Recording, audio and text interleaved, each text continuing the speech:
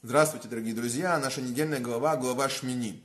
И наша недельная глава э, рассказывает о событии, которое произошло на восьмой день. Был освящен переносной храм, скиния завета. И в этот день, в пик радости еврейского народа, происходит страшное событие, на первый взгляд, очень страшное событие, гибель двух сыновей Аарона. То есть э, Аарон, который должен вести служение, мы рассказывается подробно, зашли два сына Аарона, они погибли. Э, почему? Сейчас мы коснемся этого вопроса. И вот это трагические события, как нужно было их вытащить оттуда, и как следующие дети должны были забрать э, пепел сгоревших сыновей и так далее.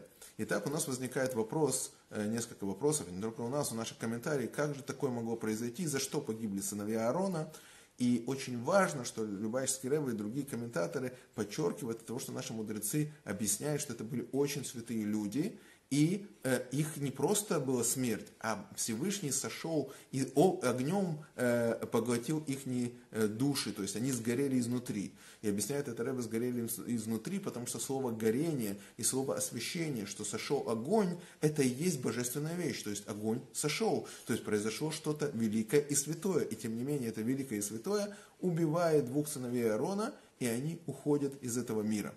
И мы уже коснулись, мы коснемся с вами, мы говорили уже в Пурим немножко об этом, перед Пуримом мы говорили о том, об одной из причин, по которой они погибли, э, мы коснемся этой тоже. Итак, давайте коснемся всего лишь несколько причин, которые говорят наши мудрецы, но они очень сильно между собой связаны. Итак, э, было то, что они говорили перед учителем Алоху, э, закон, это одна из вещей. Вторая вещь, говорит, что они принесли ненужный огонь, Третья вещь, которой мы хотели коснуться, вот сейчас я их больше коснусь, они вошли опьяненными в храм в переносной храм. Что значит они вошли в опьяненный храм, откуда мы видим, что это э, вещь, которая могла привести к их гибели, потому что впоследствии э, Тора говорит, не заходите опьяненными в храм. То есть э, очень интересный закон, что коин первосвященник должен всегда держаться на чеку. То есть он не может выпивать столько, чтобы быть не в сознании, потому что в любой момент может прийти Машех, и он должен будет вести службу, а службу должен вести не опьяненный. То есть есть разные э, уровни опьянения, которые говорят, что коин может или коин не может, но это отдельная тема. Сейчас мы ее с вами касаться не будем. И так чего мы видим, что потому что после того, как они, вы, как они сгорели, Тора говорит, никакого спиртного не должно там быть, ты должен заходить трезвый в храм. То есть понятно, что это и есть тоже из этого вывод логический, что э, спиртное повлияло на то, что они ушли. Еще одна вещь говорит, что они были не женатые. То есть и поэтому первосвященник, который ходит э, в святая святых, он должен быть женатым человеком. Я вам расскажу более э, тяжелую э, историю для нашей нравственности, как мы говорим, о том, что первосвященник был женатый, и на всякий случай ему готовили сменную жену. А вдруг с его женой что-то произошло, а ему сегодня служить, и поэтому его, если что, нужно было опять же женить, женить и опять, чтобы он был святой, то есть чтобы он был женатый. Потому что вход женатому в храм нужен именно человек, который женатый. Человек, который не женатый, это проблематично. То есть это еще одна причина, о которой мы э, должны с вами вместе э, сказать. Итак, я заостряю ваше внимание на этих двух причинах. То, что он, они зашли опьяненными, и то, что э, вторая причина, они были не женатыми. Это очень сильно повлияло, и мы сейчас попробуем с вами вместе в этом разобраться. Итак, пишется, входит вино, выходит правда. Да, то есть опьянение – это такое воздействие, которое многие люди хотят и не только хотят, периодически это делают, э, ощутить. Почему они хотят ощутить? Потому что это помогает расслабиться, помогает отвлечься от проблем временно. Оно помогает э, быть более развязанным, оно помогает подняться над своим разумом. А что же такое разум? А разум – это вещь, которая нас Э, э, ограничивает. То есть, когда человек выпивает, он может танцевать, делать какие-то вещи, лезет обниматься, там еще что-то. Разные э, периоды разного объединения, которые влияют по-разному на людей, но все эти периоды, они так или иначе выводят человека из э, своего материальности, выводит человека за пределы э, немножко своего разума. Разум при этом притупляется. Очень интересная вещь, которую мы хотим я хотел бы сказать вам. Привести э, Раб Каплан, был такой Раб Каплан, который написал э, несколько книг. Одни из книг, которые он э, описывает, это то, что он описывает, что такое работа нашего мозга. И он там пытается объяснить э, и рассказать, что на самом деле наш мозг это не источник восприятия, а наоборот источник фокусирования.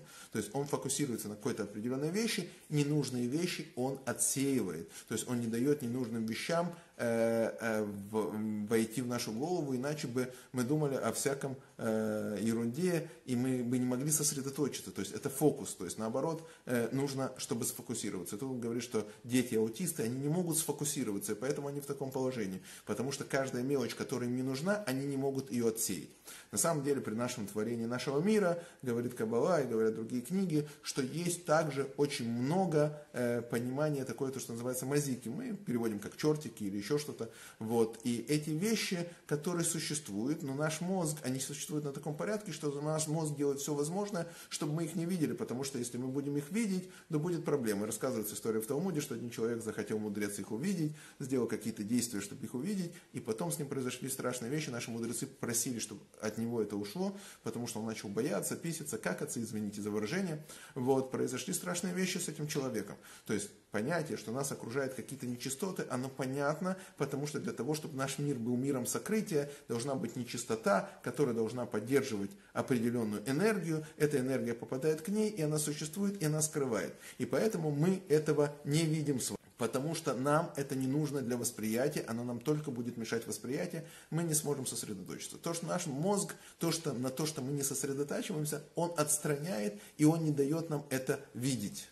Один из примеров, если мы заходим в комнату, человек заходит в комнату на секунду и выходит с этой комнаты, на самом деле все, что он увидел глазами, оно уже у него в мозгу. Но он это не помнит, и поэтому есть люди, которые занимаются гипнозом, и они вводят человека в состояние и достают с его мозга то, что в его мозгу есть. То есть у него есть вся эта комната, у него есть вся эта картина. Это используется в различных методах э, ведения расследований, когда берут, вводят человека в транс, и он начинает видеть то, что он не обращал внимания. То есть это есть у него в мозгу. И мозг это просто положил на те полочки, которые можно достать, но не нужно.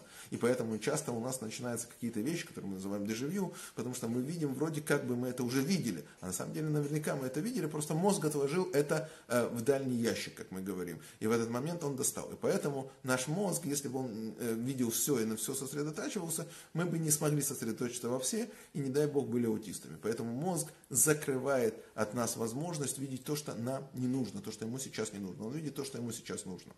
И вот э, вещь, которая происходит, когда человек выпивает или принимает, не дай бог, наркотики или еще другие вещи запрещенные, они пытаются как бы подняться над его мозгом, и тогда он действительно может увидеть то, что э, не видят другие люди, потому что это как-то на него влияет. Э, помните, как в том знаменитом анекдоте, когда муж звонит в скорую помощь и говорит, скорая немедленно переезжайте. Говорит, почему у моей жены белая горячка? А как вы докатались, здесь полная комната чертей, она их не видит.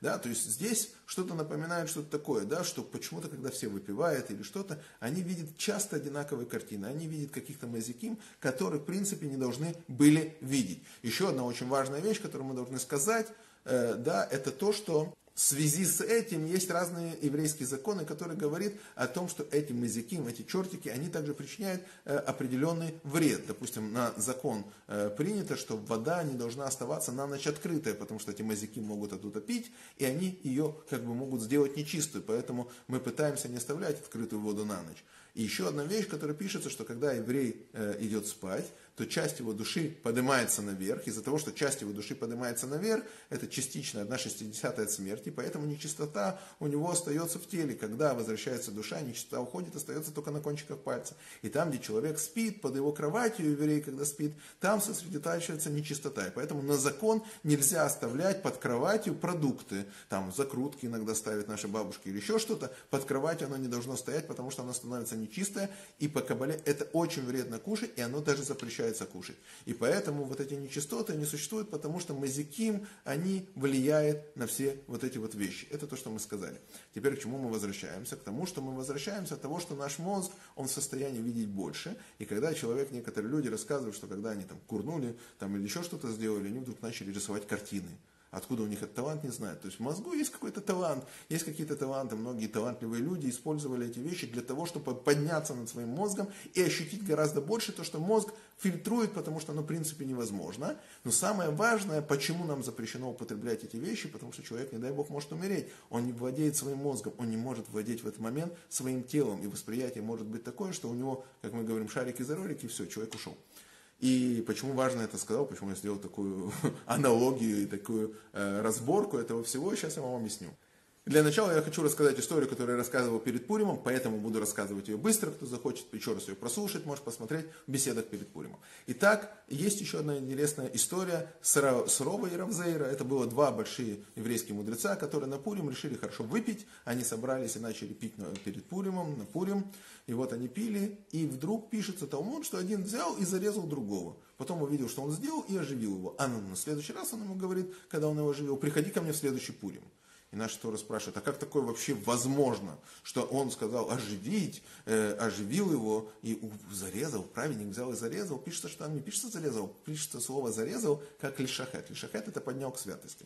И объясняется, что произошло. Пишется, что входит вино, входит правда.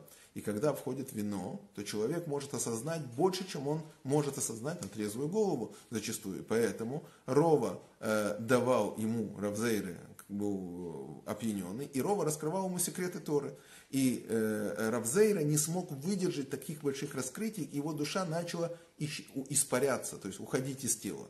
И это то, что называется, он его шахат, он его поднял на высокий уровень э, э, святости. Мы будем об этом говорить еще одной беседе, если я успею, про кошерную пищу.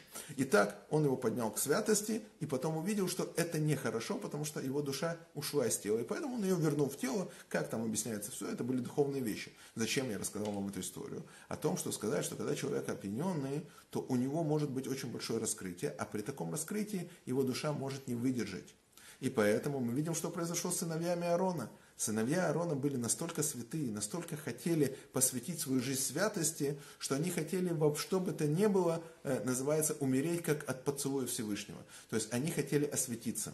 И, кстати, Маше пророческим даром видел, что освящение должно произойти путем того, что кто-то войдет в храм и там не выйдет оттуда. И поэтому мы видим очень интересную вещь, что было освящение, большое освящение, потому что Маше говорит, я вижу, что эти сыновья выше, чем я и ты. Он говорит Арона, чем они выше? Если они зашли опьяненные в храм, чем они выше? Чем они выше? А они хотели по-настоящему подняться на высокий уровень святости, без которого на такой уровень святости они бы не могли подняться без использования а. спиртного, без входа в храм, они бы этого не могли. И они хотели прилепиться к Богу и уйти тут. Они не хотели оставаться, их дела остались, и они души ушли, они сгорели изнутри. Почему им это так важно было? Потому что они хотели настолько соединиться со Всевышним, что они не хотели видеть этот материальный мир. Это, кстати, очень важно, я сделаю одну такую ремарку, да, это ремарка того, что э, многие каббалисты, которые увлекаются кабалой, да, что такое кабала? Кабала это духовные вещи. Человек, который увлекается кабалой, ему мешает его тело, ему мешает его материальный мир. Он пытается от, от, от, отойти от этого материального мира. И зачастую, когда человек выходит с этого материального мира, у него может произойти то, что мы называем шарики-зарорики. Да, почему шарики-зарорики? То есть он может уйти, обратно уже не может вернуться, потому что он уже далеко ушел. И он сходит или с ума, или еще что-то. И это очень опасная вещь, потому что надо учить это так, с учителем, и правильно. И поэтому у человека могут произойти разные вещи, потому что он хочет оторваться от этого мира. И поэтому разница, что когда человек учит Кабалу, он не хочет ничего материального. Когда человек учит Хасидут, Хасидут наоборот показывает ему при помощи Кабалы, насколько важно находиться в этом мире и выполнять желания Всевышнего. И тут мы переходим к истории еще раз с сыновьями Аарона, что сыновья Аарона умерли, и почему? Потому что они зашли опьяненные в храм для того, чтобы ощутить вот эту святость и уйти. Но тогда почему нельзя заходить опьяненными в храм? Потому что задача человека не умереть в святости, а жить в святости. Да, умереть в святости – это одно, но задача более глубокая – жить в святости. Всевышний не хочет, чтобы человек умер. Всевышний послал человека в этот мир, чтобы он работал и поднимал этот мир к святости. А сыновья Аарона не хотели быть в этом мире, и это неправильно. Именно поэтому и есть запрет заходить опьяненным в храм, потому что человек не должен улететь с этого мира. И именно поэтому люди, которые занимаются иногда кабалой, якобы кабалой или кабалой, они начинают говорить, ну, заповеди это все далеко, я главное на духовном уровне. Так вот, не главный духовный уровень. Главный уровень здесь материальный, потому что в этом материальном мире Всевышний вложил духовность в материальные вещи. И это очень важно, именно, что мы задействуем материальные вещи. И поэтому человек, который сильно ударяется в эту духовность, он, от, говорится, он не от мира всего, говорят люди, что он в этом мире не может существовать.